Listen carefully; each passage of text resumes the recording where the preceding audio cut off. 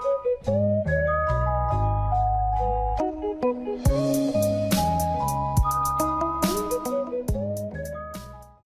Hi guys, Tech James here. In this video I'm going to be just unboxing and taking a quick look at this um, kind of like retro game console. Now this one right here is called the Q9 Handheld Games Console. I think these have quite a few different names on different websites, but this one was actually sent to me by TomTop. So if you guys like the look of this handheld throughout the video, there will be a link to buy one in the description and you can always go and check it out and have a look at the price and stuff like that. It is pretty affordable. This emulates tons of different things like Game Boy Advance, Game Boy Boy Color, Neo Geo, um, NES, all of those types of classic games. So let's go and unbox this, let's check it out and let's see if it's any good. So first of all, let's just have a look at the box. This is a 16 gigabyte model. Right there it says it's got over 30,001 games. Maybe it's 30,001, but um, I don't know the exact number. It's probably not 30,000. I do know this doesn't have any duplicates though. Okay, so there's two models. You can get the black transparent one or you can just get the white transparent one. That's what it comes with. So we've got the console, the AV cable, USB cable and user manual. Um, here is a look at the back. So they are all of the buttons on there. It does have an SD card slot, so we will be checking it out to see if it works. And um, yeah, basically kind of like the Game Boy Micro, I think they've kind of gone for. And then there's also some other information here. So it's got a 64-bit operating system. I don't know if that's really true, but yeah, okay, so it supports Game Boy Advance, SFC, SNES, um, Sega games, um, plus um, NES games. Okay, so yeah, plenty of different retro games on here, and um, yeah, that's pretty much everything on there. Also has pictures and ebook, but I don't think anyone uses it for those. So let's just go and have a look at this right now. As I said, kind of like the Game Boy Micro, I think that's kind of the design they've gone for. Let's see what else is in the box before I actually have a look at this um, itself. There is a few things in here. It just looks like the instruction manual.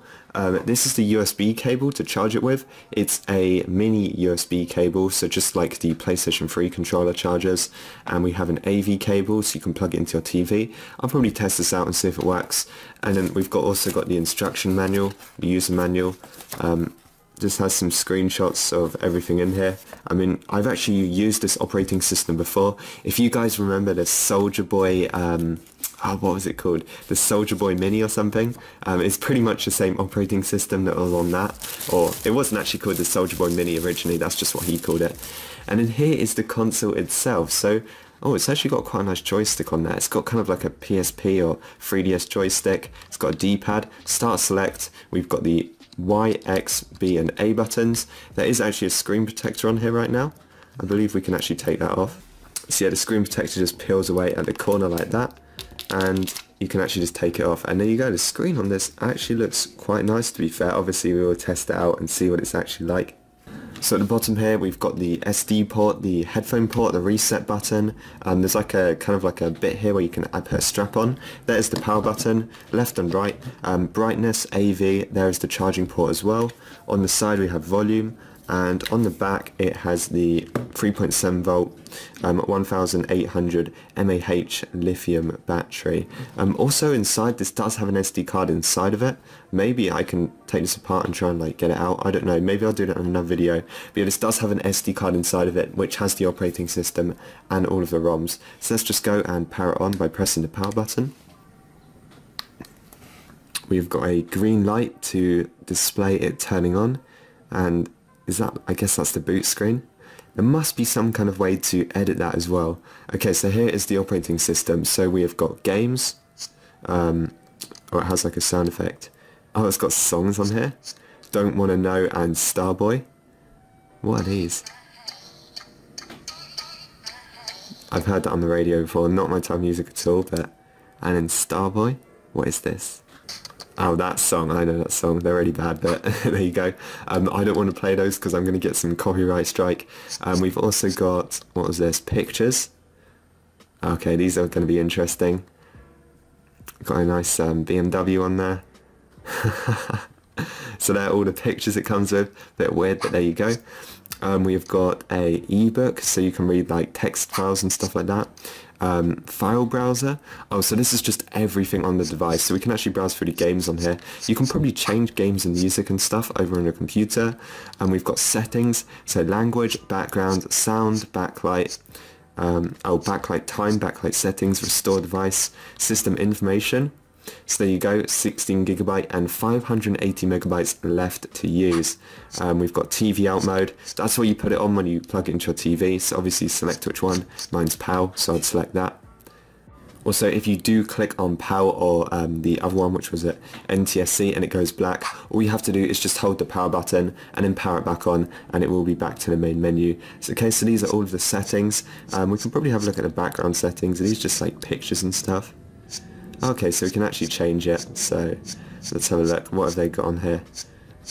Maybe we can change it to the green one and see what it's like. There you go. And font color, you can change that as well. Okay, I see how it works. So you can change the font color to whatever you want. Just like that. So I've made it kind of like a light blue, I guess. It's actually not really showing up the green that well on my camera. Oh, there you go. Now it's looking right. So what else have we got? And then that is it. That is back to the main menu. That is everything. We've just got two pages of sections. Normally, they have ROMs listed up at the top. On here, obviously they don't, so that's kind of interesting. But I guess it's kind of like a clean operating system. Doesn't look too bad. It just looks kind of basic. So um, what we can do now is try and play a game. Let's have a look. So we've got Capcom Play System, Neo Geo, Game Boy Advance, um, SFC, what is that? Oh, it's like, um, oh, Super Famicom, okay. And we've got Mega Drive, um, we've got FC just for Famicom, um, Game Boy Color, Sega Master System, um, GG, I don't know what GG is. Let me know in the comments what GG is, it's probably, um, I don't know, Game Boy, Oh, Game Gear, of course. GG stands for Game Gear. Okay, so let's take a look at some of the games. Maybe we can try Game Boy Advance first. Let's have a look. How many Game Boy Advance games is there actually on this thing? So, it looks like it's got just the default amount on here. We can actually scroll all the way down. looks like it's got all the Pokemons, Crash Bandicoot, um, all of these types of games. It's got tons and tons of games on here. And of course you can add your own ROMs as well. Um, so, I'm actually going to turn the volume down because that's kind of annoying. There you go, so that's the volume down. And um, yeah, it looks like we've got tons and tons of games on here. Should we play one? Should we just choose some random game? Pirates of the Caribbean, let's play that. Never even played this Game Boy game before, or Game Boy Advance game. I'll turn up the volume a bit. I don't think this will be copyrighted, so it should be okay. So first of all, the screen is very good quality. It's much better um, than my Game Boy Advance SP screen. As you can see, there's no blur. I can kind of like tilt it and you can still kind of see it a bit. Um, yeah, it's very good quality. This isn't going to hurt your eyes or anything like that. There's also a brightness thing at the top.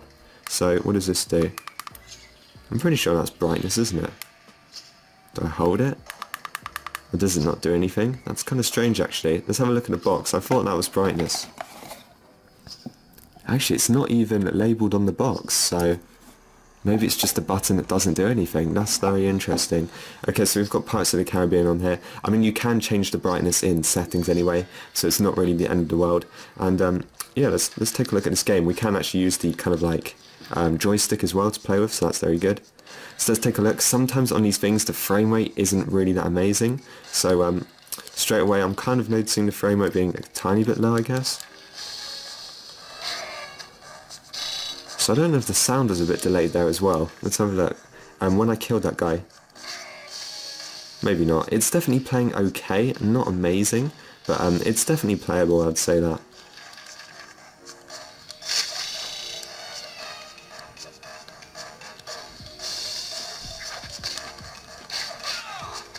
So I think maybe the sound is actually delayed a bit. If you guys notice when I attack these enemies, maybe there's like a split second, not even a second, yeah, it's even a bit delayed on the barrel. That is kind of strange. But anyway, let's check out some other um, games on here as well. Um, maybe like Capcom Play System or something. So if you want to back out of the game you're playing, all you have to do is just press the power button and it's going to bring you to this menu. We can scroll down and we can actually just press X on quit. So let's go back, let's open up games. We've got Capcom Play System. Let's play um, Street Fighter. That is one of the best Capcom Play System games to be fair. So let's load up this one and let's see how it performs. So we've got Street Fighter 2 on here. Let's um, try a quick game of this and let's see if it's laggy or playable or anything.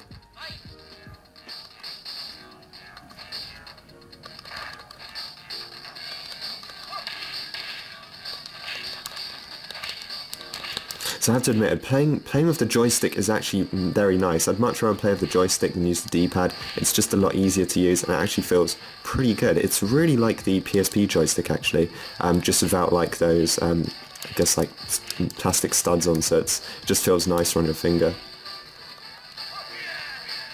So there you go, Street Fighter, no problems with that whatsoever, no lag, and the audio was very good. And um, I'm actually very impressed with this thing. This is a lot better than the um, kind of like Game Boy style version of this. This is more like the Game Boy Advance version. The Game Boy Color version of this is definitely not as good. So let's just back out to the main menu again. Let's see what other games have we actually got on here. So let's see, so we've got Neo Geo. I want to play something like Super Famicom or for us that's just um, NES, so that is SFC, there it is. I think let's play um, Super Mario Kart, should we load up that? So I'm noticing, what is this black bar at the bottom of the screen? I think maybe the screen layout um, isn't quite right for this, so it's shrunk down or something. But as you guys can see, there's a black strip going across there. I don't know um, why that is there actually, it's kind of strange. Okay, so let's start. So straight away I'm noticing a huge frame rate drop. This is very laggy and hard to play. Um, I'd say this is definitely best for Capcom Play System, which I'm kind of surprised to be honest. Um, yeah, this is actually kind of like hurting my eyes playing like this. The frame rate is very, very low. I think, yeah, this is just, this is pretty nasty to play actually, so we're just going to X out of this straight away before I get a headache. And what I'm going to do is actually put in my micro SD card. I've got a Game Boy Advance game on that, so we can see if it loads up. So here it is, I've had it connected to my computer, and all I did was just drag and drop a Game Boy Advance game. We should just be able to put this inside of here and just load it up. Let's give it a try. I don't actually know which way around this goes, I guess this way around.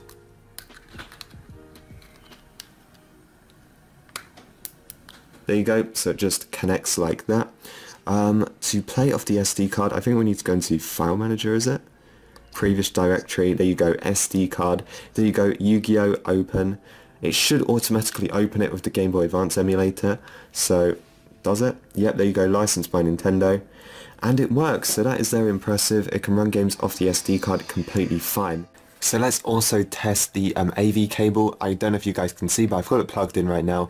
And anyway, we need to go over to settings on the device. We need to scroll all the way down and we're looking for the TV out mode. I'm going to change it to PAL and it should go on my TV. If that doesn't work, um, I've just got to like change it to the other setting. But let me just change it on my TV. Let me just change this to video and it should actually display. So there you go, it's now displaying. It kind of looks a bit stretched, but you just use the console as the controller. Let's try out, let's try out some random ROM. Uh, let's try Game Boy Advance. Let's just see. Actually, we haven't tried Game Boy Color yet, to be fair. Let's try Game Boy Color. Let's just see what it loads up like. Um, I don't know, Pokemon Yellow. Let's see what that loads up like. So there you go, not too bad at all. Um, the colours look alright, I guess. Maybe it's a bit laggy and a bit kind of like glitchy. Some of the pixels are a bit glitchy, but it looks okay. So yeah, that is pretty and then of course you can just play the game. So yeah, that is the um, AV mode. Not amazing, but um, it's okay. So that is pretty much it for this video. This is the Retro Game Handheld. I mean, these things have different names on loads of different websites. I'm actually very impressed with this one. The screen is very nice. If you want to play Capcom Play System games, this is very, very good for it. So yeah, if you guys enjoyed this video, make sure to like and subscribe. Make sure to check out TomTop if you wish to get one of these. There will be a link to one in the description. Thanks for watching, and I will see you guys in the next one.